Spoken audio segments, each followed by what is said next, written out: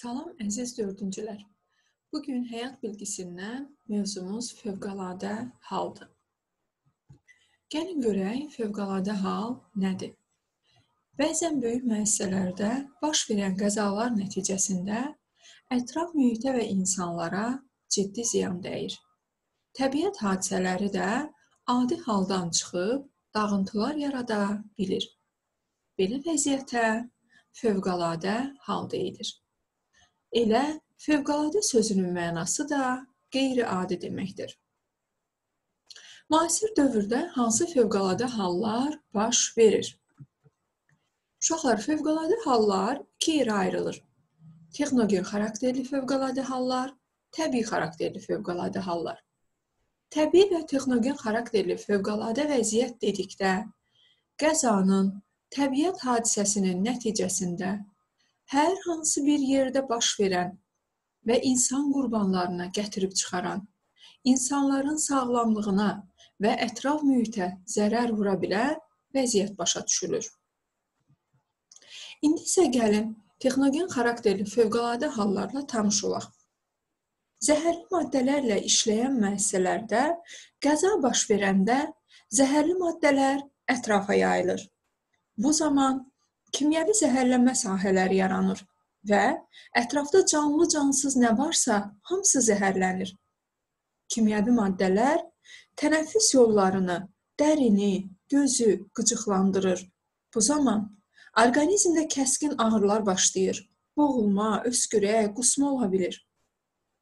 Atom elektrik stansiyaları deyilən xüsusi müəssisələr var.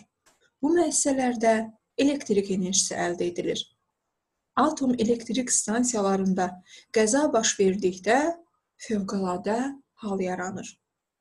Radioaktiv maddələr, yəni şüalanma yaradan maddələr olduqca geniş sahələrə yayılaraq ətraf mühiti zəhərləyir.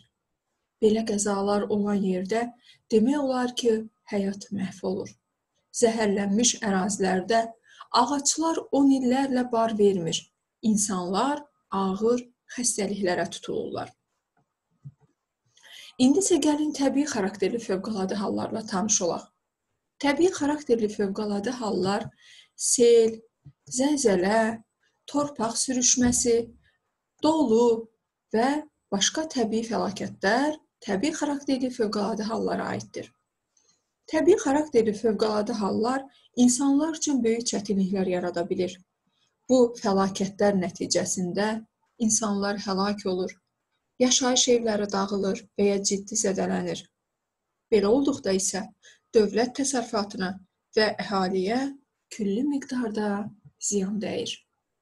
Fövqəladə hallar zamanı meydana gəlmiş məfeci amillər aşağıdakı xarakterə malik ola bilər. Məsələn, mexaniki amil. Mexaniki amilə zəlzələ, sellər, sürüşmələr, dağlarda qar uçqunu, İstilik amili. Bu amilə isə yanğınlar, alov, yanma məhsulları ilə zəhərlənmə, boğulma vəziyyəti aiddir.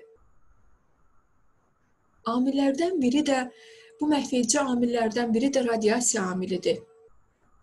Təhlükəli radioaktiv şüalanma nəticəsində radiasiya təsiri.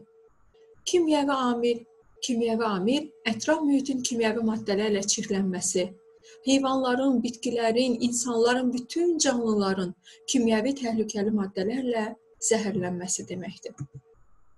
Diqqətinizə görə təşəkkür edirəm.